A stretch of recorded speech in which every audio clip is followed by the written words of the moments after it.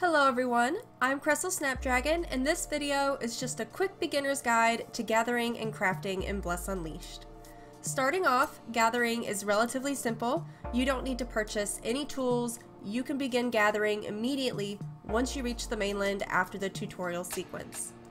You can chop trees, which are indicated by the leaf on the mini-map.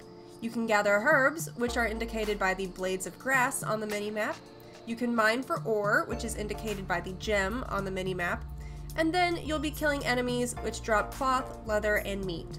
What items you can gather is dependent on your location, so you'll be gathering Lumiose root, iron ore, thin branches, and stringy meat in the beginning areas from Karzakor to the Null Wastes. Once you reach Tristeza, around level 19, give or take a few, you'll start being able to mine silver ore, chop flexible branches, pick mushrooms, and kill goats for tough meat.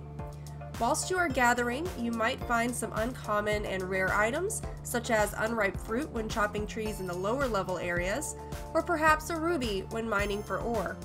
If you are planning on being a master crafter, these items will take up space in your inventory, so maybe consider storing them and or using them as often as possible. If you aren't planning on being a master crafter, gathered items usually sell for pretty good prices on the marketplace. Crafted items can be very helpful in this game. For instance, you can use alchemy to craft recovery potions, and cooking comes in handy when eating lunch at a pyre or just snacking while out in the field. You can level each crafting profession to level 10. As you gain expertise in the different crafting professions, you will unlock new recipes, you can also find recipes as drops, or even get a few recipes from NPCs and the Artisan Union. Some crafting recipes require soul fragments that you obtain when defeating the various field bosses. You can farm for these in some cases, they really aren't that uncommon. Now, let's take a look at each of the crafting stations. You can find them in any major city and even in some of the encampments, such as the amphitheater in the beginning area. Starting with alchemy, this is how you're going to craft your various recovery potions. You're also going to be able to craft elixirs, which provide you with various buffs for a certain period of time, generally 30 minutes. In order to craft these elixirs, you are going to need to purchase an empty bottle. You can find these empty bottles at any general goods merchant, which you can usually find in the major cities and even some of the various encampments. Next up, we have cooking, which you can do at any of the various soul pyres across the map. You can cook lunch boxes, and these are just meals that you eat out of combat while you're in the field, or even when you're sitting at a soul pyre trying to uh, regain your HP. Each of them has a different effect. They can store various amounts of HP over a series of seconds.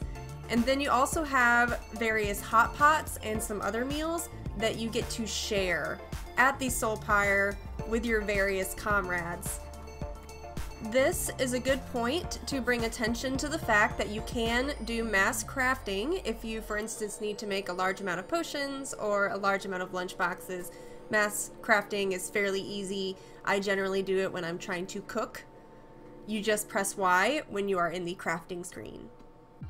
Next up, we have the Shaping Workbench. This is where you would craft armor for the Ranger, for instance. Notice that I have it pretty low level right now, so that means I can show you how when you level up your expertise, it adds more recipes for you to be able to craft. Also notice that when you hover over a different item, it shows you how much experience along that bottom bar that you're gonna get put towards your XP for crafting that item.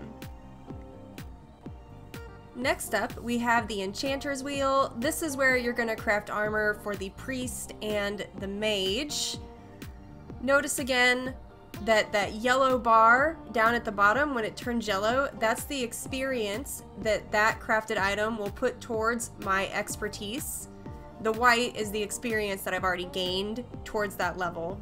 I also want to point out again that every once in a while, you're going to find a recipe that requires a soul fragment, you gather these from the various field bosses out in the world. They're pretty easy to farm in most cases. In some cases, they might be rather uncommon or a little more rare. Next up, we have the Blacksmith's Forge. This is where you're going to craft armor for the Crusader and the Berserker. Again, I'm rather low level here, primarily because I haven't had a need to craft this type of armor. So you're going to see that as I level up, new recipes are going to be unlocked for me. If there is something that you need to craft, that doesn't necessarily mean that it's going to be unlocked as you level up that expertise in the various professions. In some cases, you are going to have to find the recipe perhaps as a drop, or you might have to find it on the marketplace, or perhaps an NPC is going to give it to you. So that is it for this video. Thank you so much for watching. If you are new to this game, I really hope that this helped you get started in your master crafting career. Please watch some of my other videos. I have a tips and trick video. I also have a video that shows you how to get over any of the level walls that this game throws at you. I hope that they help you guys out a lot, especially if you are new to the game, because this is a really great game. I think it's absolutely gorgeous. So again, thank you so much for watching. Please subscribe if you haven't already, and I will see you next time.